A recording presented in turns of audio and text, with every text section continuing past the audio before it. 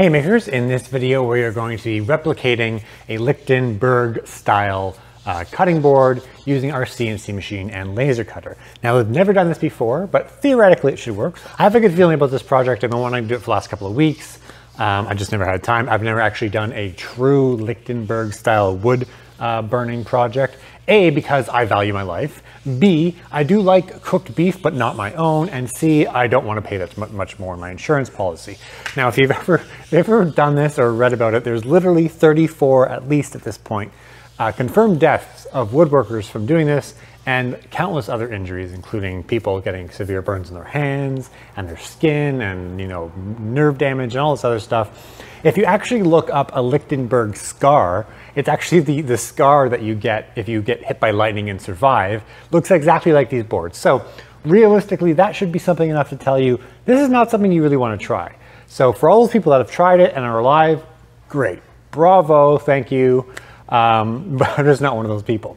So what we're going to be doing is using VCarve uh, with our CNC machine and Lightburn with our laser cutter. We're going to try two different methods to replicate this style of project, and I'm going to let you guys judge at the end. So feel free to comment at the end of the video if it looks something like it or if it doesn't look anything like it at all. I don't know, let's give it a try. What I've gone ahead and done is I've downloaded some DLAs um, as well as some lightning bolts and some cracked fractal vectors even though that Lichtenberg pattern is not technically a fractal because it's not scalable and it's definitely more random, um, we're going to essentially use a fractal pattern to mimic that Lichtenberg pattern. Now, I don't think the trunks of the actual Lichtenberg patterns in general are going to be a problem because they are fairly thick, very easy to replicate. They don't have a lot of detail. It's the little fine details that come off the trunks, you know, those microscopic electric burns that you see on some of those uh, Lichtenberg boards that I don't know will be able to replicate, but I'm also not sure the average person uh, who doesn't know the difference is going to be able to tell. So let's get started and we'll see if we do. Okay, so I'm here in VCarve and I'm going to go ahead and import the compilation file that I created. It's basically just a collection of all the uh, fractals and DLAs and all that stuff. Uh, and lightning bolts and cracks and stuff that I kind of found online. Want to be 100% heads up with you guys uh, and, and honest.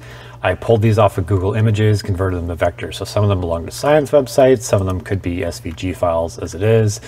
Uh, I have no idea where they're from. I literally just pulled them off Google Images. So just be careful if you do want to use these images. I do not know if they have copyrights or ownerships on them, but I will have this compilation file available to download uh, for free, of course. Um, in the link uh, in this video description if you want to try some of this yourself. So the first thing I'm going to do is grab some uh, patterns that kind of look like that Lichtenberg pattern uh, with that, that thick trunk, but not a lot of detail. So here's one that's like a cracked earth pattern. You can see that there's thick trunks and thin trunks uh, propagating. So I'm just going to go ahead and fast forward this while I format this for my piece of wood. I've already created that piece. I think it's like 34, 37 by seven and a half inches. Um, and I'm gonna go ahead and lay these out and then we're gonna take it over the CNC machine, use our carving bit, and we'll go from there.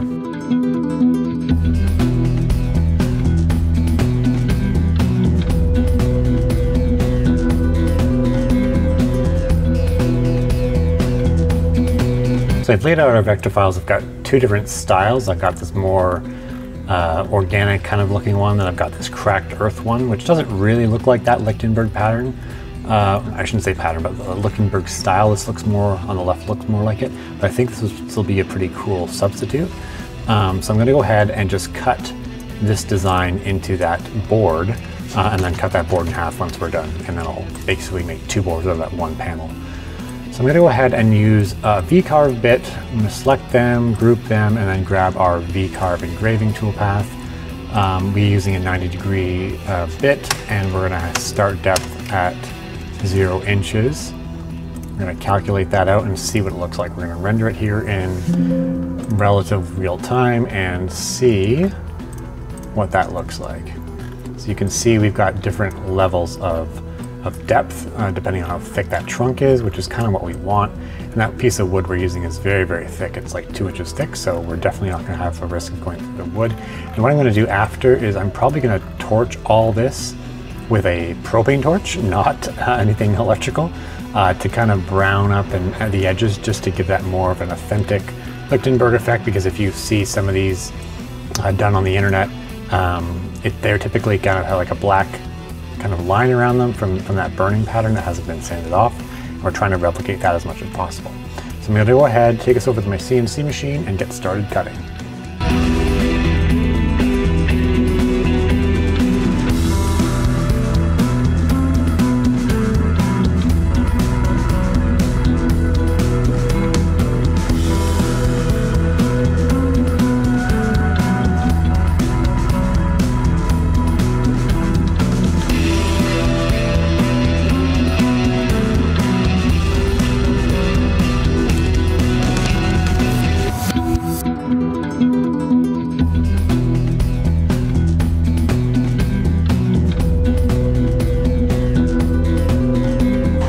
So while the CNC is doing its thing, we're gonna come back and we're gonna work on our lasered version.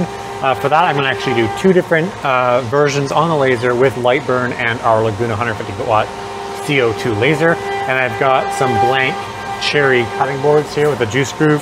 Probably end up cutting the juice groove off. We'll just do the, the uh, lasering on the inside, then we'll trim it up and plane it out after we fill it with resin. So I start with laying out the size of the board, uh, which is that blue line here. And I'm going to basically went ahead and imported a couple of our uh, DLA fractals.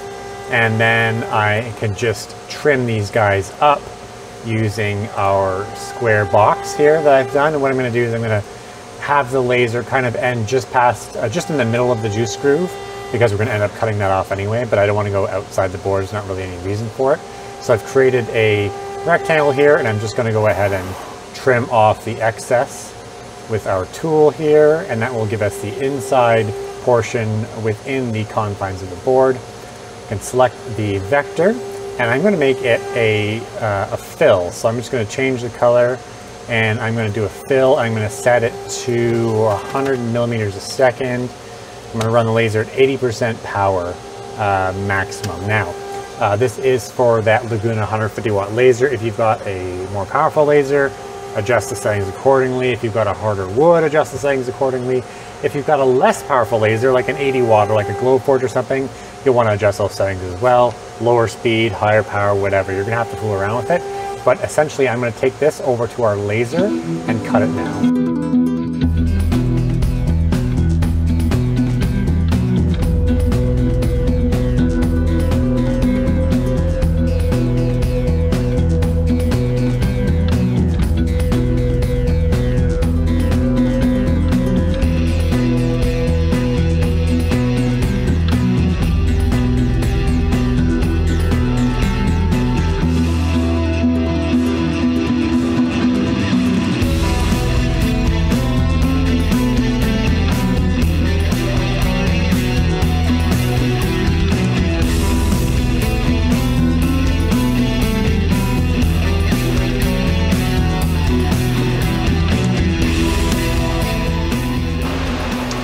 This next run uh, with the laser, we're going to be using a slightly smaller board. It's a walnut board. It's pre-curved, uh, like an arch shape with a juice groove. And we're going to use that uh, another DLA vector.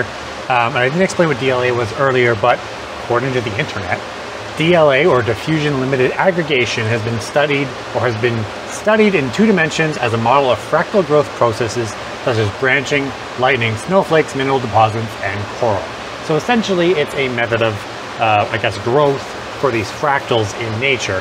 So if you actually search uh, diffusion limited aggregation or DLA vectors, DLA SVG online, you could find a lot of these files that I'm using for this. I find that looks most like that Lichtenberg uh, look or that pattern that we're going for. So I'm to do another one on a board like this. I've quickly brought in the model, uh, the drawing of my board in Lightburn, which again is my laser software. I've grabbed that DLA um, SVG file, the vector file, and this time I'm going to increase the power just to get it a little bit quicker uh, because that last one took quite a while to engrave on laser. I'm going to run this one at 200 uh, millimeters per second at 100% power on that laser. See how fast we can get this one done.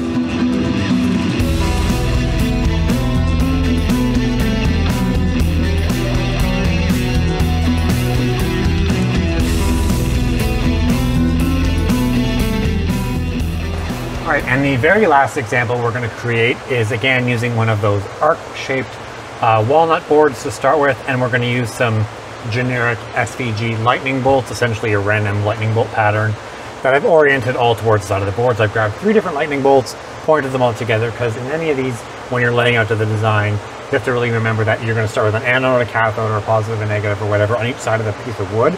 And those, those that, that electric, electrical current's going to want to meet, it's going to come together. So in order to faithfully reproduce any of these, we want to make sure that anytime we're laying out these vectors, we're going to want them pointing to each other, that they're almost coming together to try and meet or meeting. All right. So as the very last one, we're going to cut this, or rather engrave this with a laser, and then we'll get to analyzing them and filling them with epoxy so we can finally get them finished. So we're here with all five of our boards that we finished, two on the CNC, three on the laser. And just a heads up, I apologize if you want to get up and dance and maybe do a little bit of exercise routine. The gym next door has got their music cranked and the instructor's apparently on speed today. She's really loud. So if you can hear her, I apologize. I'm going to try to talk over that so you can kind of hear what I'm doing here. So we have, as I mentioned, our board one, two, three, four, and five. I'm going to go from this side to this side, explain each uh, setting and just, uh, just do a quick analysis before we fill these with resin. So this uh, board was done on our CNC using a V-carve bit, 90 degrees, and it's this half inch bit. It took about 40 minutes to cut. Uh, both these CNC pieces I took outside, I grabbed my propane torch, and I basically torched them down uh, basically to get a, a, blackened top edge, but also to make it easier uh, for this video so you can actually see them because uh, prior to blackening it, you really wouldn't have been able to see from this distance the, the kind of quality um, and the edge quality that would have come out with the CNC compared to the laser. Now, one thing I do want to mention is I believe the CNC was at a disadvantage strictly because of the tooling or the, um, the bit that I chose. Uh, this is a half inch 90 degree bit. Obviously half inch is fairly thick. Um, and because of that, you ended up with a lot of kind of softer, more round looking um, lines and, and, uh, and surfaces on the top here, simply because this bit is so deep. As this bit goes deeper into the wood, it's obviously gonna widen the top, right? So you lose that resolution that you would have, say, on something like the laser board. These lasered ones are, you know, to be honest, I, I personally haven't seen an unfinished as in uh, uh, a Lichtenberg board without resin in it. But from pictures, this looks like, to me, a Lichtenberg uh, board before you've actually put in resin. This doesn't. Um, but again, if I used, say, this CNC bit, which has a 1 16th flat edge and it's a half, it's a quarter inch bit, we would have been able to get much tighter, much clearer resolution, but it definitely would have taken longer. This was a 40 minute cut in the CNC. Uh, this cracked kind of earth texture was a 60 minute cut on the CNC with that bit. Using that thinner bit uh, would have probably at least doubled that time. I am happy with how they turned out and I think they will still look good, um, but I'm just not convinced uh, that using that fatter bit uh, put us at a disadvantage. Now going over to the laser designs here, we've got board number three. This is the first lasers that we did. 100 millimeters per second at 80% power, and it is a 150 watt Laguna laser. This is a cherry uh, cutting board. Uh, it's obviously glued together. And I think it looks really, really good. I think once we fill it with epoxy, it's gonna look great. And these were both the DLA vector. These three here were the DLA vectors, which I personally believe, uh, just from looking at them, look most like that Lichtenberg uh, style. Um, and then the fifth board we did on the laser, I used uh, the lightning vectors, and no one is going to mistake this for a Lichtenberg board. It is just too artificial looking. Uh, it's too perfect looking. There's not a lot of striations, or really there's no striations, coming off of each individual branch of that, uh, the lightning, so to speak. It's gonna look cool being filled, but it's not going to be a faithful representation of what that Lichtenberg style's like. So either way, we're gonna finish that. We're gonna finish all of them, fill them all with the exact same color, blue epoxy, and go from there. Before I fill them with the epoxy, I do want to mention uh, one thing. If you weren't planning on filling these with the epoxy, I don't think either of these methods is really ideal to get um, an accurate kind of replacement for that Lichtenberg look. I think you're only going to be able to do that with that high power, possibly near death experience using the, the wood burning high voltage uh, transformer and stuff, which I, obviously I'm not going to do for reasons I explained earlier. Um, the laser, when it cuts, it's really, really hard to get a gradient, so it's basically flat. There's, you know, very, very little deviation um, in that uh, in that groove. It's essentially flat. You can get a gradient with a laser cutter or laser engraver, um, either with different layers or with like a, an actual gradient and different settings, making that an image instead. It gets more complicated and definitely would take much longer. You can definitely get a gradient here because you have essentially a gradient built into that router bit, right? So you've got that V or that or that U or whatever end on your router bit that's going to give you that gradient. However, you don't get the burning, right? So you get the burning here with the laser, you get the blackened look, but in order to actually burn this, you physically have to take a torch and burn it. So yeah, I would say that if you're going to be filling these with resin, I think we'll be able to get a good end result. But if you're not filling with resin, eh, it might be a little bit questionable. Anyway, I'm gonna stop blabbing. What I'm gonna do is I'm gonna take some painter's tape and go around the uh, surfaces or the perimeters of each of these boards to seal them up so no resin falls off or, or little resin falls off because if we don't do that, you're just gonna end up with resin coming right off the board um, instead of staying on it.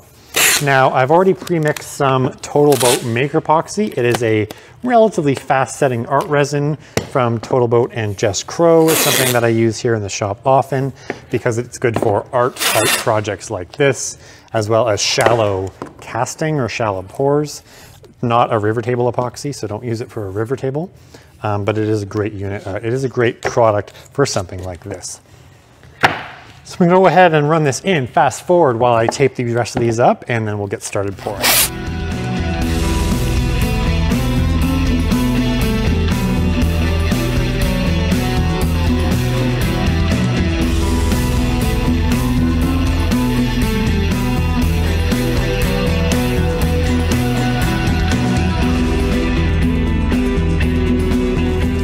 So as I said, I mixed up that TotalBoat Maker epoxy and I've added a pigment by Black Diamond Pigments called Caribbean Blue. So you've got that nice blue. I wanted to keep all these boards the exact same colors because I didn't want the color to affect uh, the end result. Maybe if you had a preference for a certain color, you might be, you know, oh, that board looks better because of that color. I want them to all be the same color so we can really do an apples to apples comparison. So what I'm gonna do is I've got my gloves on, I've got my spreader. We're just gonna go ahead and spread out the epoxy into all those grooves and obviously we're gonna be able to, we're gonna have to fill in the juice grooves here with the epoxy. We could always cut these juice grooves out with a saw after. Remember, we're gonna have to uh, run these through the planer, or at least give them a good sanding to uh, get the epoxy level with the wood. You can start to see the, the, obviously the texture coming through now. Once we start to actually give it a color difference, you can see the epoxy filling up those uh, voids. But uh, as I mentioned earlier, you know, using that larger bit with the CNC put this guy, these guys at a disadvantage because they are definitely more rounded um, than a natural uh, electrical burning would be. But I think they still look pretty good. And again, I think if you, unless you were kind of a an expert in uh, wood burning and, and using electricity with the Lichtenberg method, I'm not convinced even with this profile that anyone would know the difference. And I actually think running th these through the planer uh, might actually help alleviate some of this problem uh, with the, these, the, uh, the wide profile near the upper parts of these cuts or these engravings. Because obviously that planer is going to take off, you know, a 16th of an inch. So it's going to end up, uh, these lines are actually going to end up a little bit thinner than this um, because we're going to end up losing some of that top surface. So I think we'll really just have to wait and see once these boards are completely done to really make a final judgment call as to what is an effective method without the risk of death to create these Lichtenberg style boards. And as soon as I move to these guys, you can see the massive difference in resolution. You know, using the laser, it's, well, I'd say it's sharp as a laser. I mean, really it is. It's, uh, it's a super fine point. Um, so you have quite a bit of control when it comes to detail with a laser that you may not have with the, the CNC. And we're gonna go ahead and fill up that ju juice groove because we're gonna, epoxy's gonna run out there anyway, so why not just fill it up in advance. Um, now heads up guys, uh, you know, I'm a big proponent of safety and stuff, so you'll you know, I'm doing this right now with my big garage door open and one of our fans on. I'm not wearing a, a ventilator mask um, or a respirator, I should say, uh, you definitely should be using a respirator if you're working with uh, epoxy. Um, you know, fumes, chemicals, uh, same thing with using wood finishes. I just can't talk with a microphone uh, and a respirator. If you're, if you're wondering why these boards have juice grooves, these were like a wholesale purchase um, that I made so I can do projects on the channel. Um, so basically there's like companies that sell blank wholesale cutting boards. So most of that stuff you see on Etsy, that is like laser engraving cutting boards, you know, put your name or your wedding or whatever. Uh, they really just buy pre-finished cutting boards from these companies. There's a few of them. There's like wholesalecuttingboards.com and uh, Adeo Wood Products is where these guys are from. And they're in, uh, up here in Canada and Quebec. Um, but there's a lot of different places you can get, you know, wholesale pre-finished, pre-glued boards. Um, or you could of course make your own or just use a solid piece of live edge for this, but this is what I had on, on hand at the time. And it was the easiest to create that project, this project with.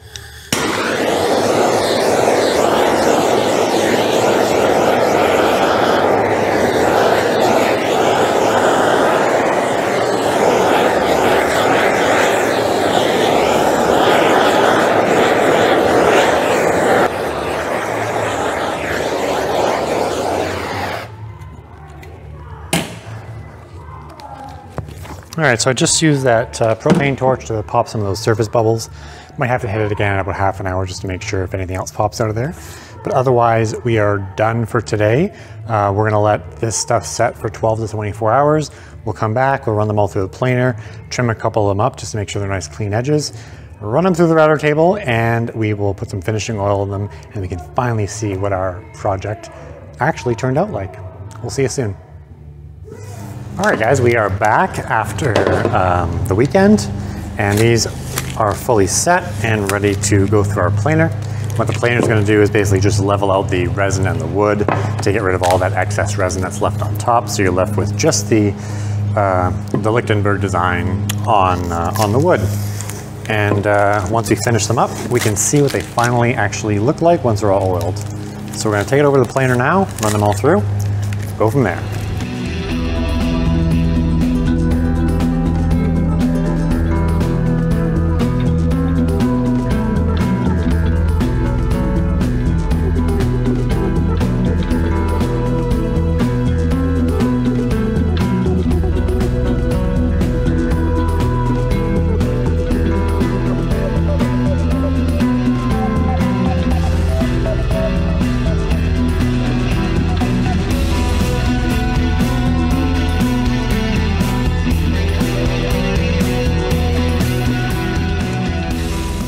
So here are five finished Lichtenberg style boards. We've got two that we made in the CNC, three that we did in the laser. Now I've gone ahead and sanded these from 80 grit to 120 grit. I ran them through our router table to chamfer the edges or essentially round the edges. Um, and then of course I applied our TotalBoat Wood Honey, which is one of our favorite finishes to use here, which is a natural oil beeswax sort of hybrid to give that, that the wood and the resin a nice pop and seal these things up. Now I want to talk about these boards individually. I honestly think that we are about 70% of the way to creating something that genuinely looks like uh, it could be a Lichtenberg authentic project. So starting over here, these are the two CNC ones. We use that v, we use the CNC with a V-carve bit. We use a half inch bit, which is a little too thick. Uh, it's a 90 degree angle, but it's just a half inch bit and it's just not uh, thin enough to replicate those details. We ended up with, these are really the same uh, vectors, these and these, but we lost a lot of the resolution simply because of that bit width and depth. As the further it goes down, you kind of create those wider channels. Whereas here with the laser, we were able to really still keep that fine, sharp detail. And you can see those little striations coming off these smaller branches, whereas here it's kind of all mauled together. However, I do want to say one thing, as I mentioned earlier, we, we were kind of at a disadvantage with the laser. I think that if you used a very fine bit, quarter inch diameter, maybe something a little bit sharper like we talked about in the video, we could get very, very similar detail and resolution, but it would definitely take longer. The laser, you know, these were hour, maybe 45 minutes each. You know, this was 40 minutes, this is 45 minutes, but if you go to a smaller bit with a finer uh, tip, we're gonna be double, triple that time, right? So using any of these CNC or lasers is not gonna be as fast as the real deal, you know, attaching your cathode and anode and just frying that board up. Not gonna be that fast, but it's obviously safer. So um, Going over to the laser ones, as we talked about here, we have that nice fine detail, really, really good representation. I think it's similar here, but what I did notice is I think doing this in the future, if you were using a laser, you need to slow it down and turn up that power to the max to get it deeper because, you know, using the CNC, we got nice and deep, but here we didn't get a lot of depth. So this board in particular, uh, we've actually kind of lost some of that uh, resin fill that we did after running it through the planer because it was just so little to work with, right? We kind of took off part of it and that kind of ruins the effect because then you've got a broken, you know, a broken section of these veins, you know, between here and here, you've got it, it's completely disconnected and that does not look great. This one, of course, we, as we mentioned earlier, wasn't really going to look like that Lichtenberg style board. However, using this pattern, this laser pattern and this kind of cracked earth pattern, kind of scaling them up so you have these wider trunks to smaller trunks, and then taking these, these parts of the vectors, the striations from that DLA vector that we were using, and adding them to either this or this, I think would be the winning combination. So in other words, what I'm saying is if we could kind of merge a couple of these into a master vector, a single design that had, you know, the wider trunks, but then also these fine striations, that would be a much better representation of what a real, you know, wood burned Lichtenberg board would look like. Now, as far as the technique itself, I don't think it matters whether you use a CNC or the laser. If you're using the CNC, you just need a much, much finer bit. But what I do want to mention is with the CNC units, uh, pieces rather, I did take that torch and kind of pre-torch all around the edges, uh, thinking that it would eventually come through in the end. And it did, and I think it actually looks much better. If you look close at these two boards, you can see kind of a halo or an aura or an outline, whatever you want to call it, around all that resin, like you would with a real, you know, electrically created Lichtenberg project. You've got all those kind of burn lines, so to speak, on the outside of the resin. With these laser ones, we only had the burning on the inside, which we filled with resin, so you don't see that burning anymore. So I think whether you use a CNC technique or a laser technique, take the torch and just burn the entire thing, um, basically where all the lines and the engraving is, to, to end up having something that's a little bit uh, a better representation in the end. You know, maintaining that, that black outline, I think is gonna go a long way to making it look more like an authentic Lichtenberg created piece. Otherwise, I do have all these vectors uh, as well as the VCarve and Lightburn files that I created with these five boards. They are zipped up and in a file for you guys to download if you want to attempt it, if you want to modify if you want to try it yourself and fool around. If you do, I want to see it. I really do want to see if you guys can improve this technique make it look better than I did because that's you know that's what we're all here for as, as makers is to help each other and kind of feed off each other right so I also want to know if what you guys think of these boards did I completely miss the mark do they look like crap um, you know, is this a bad Elvis impersonator in Vegas compared to the king himself? Is this a cheap handbag that you bought from the flea market downtown instead of the real Louis Vuitton authentic, genuine article? I don't know. Let me know what you think, and especially if you've already created Lichtenberg pieces. Are we close, or are we just too far away and I shouldn't even try again? I'm going to try again though. I'm going to make a second video where I'm going to have uh, uh, an updated uh, vector where I'm using the kind of merging these two designs, adding the fine striations, and then using the laser and that technique with the blowtorch to get something a little bit closer. So if you want to see that second video, I'm going to be working on it next couple of weeks. You're going to have to subscribe to the channel to make sure you don't miss it. So again, subscribe here at Make Epic Things, hit that like button if you enjoy this video, and thank you for watching.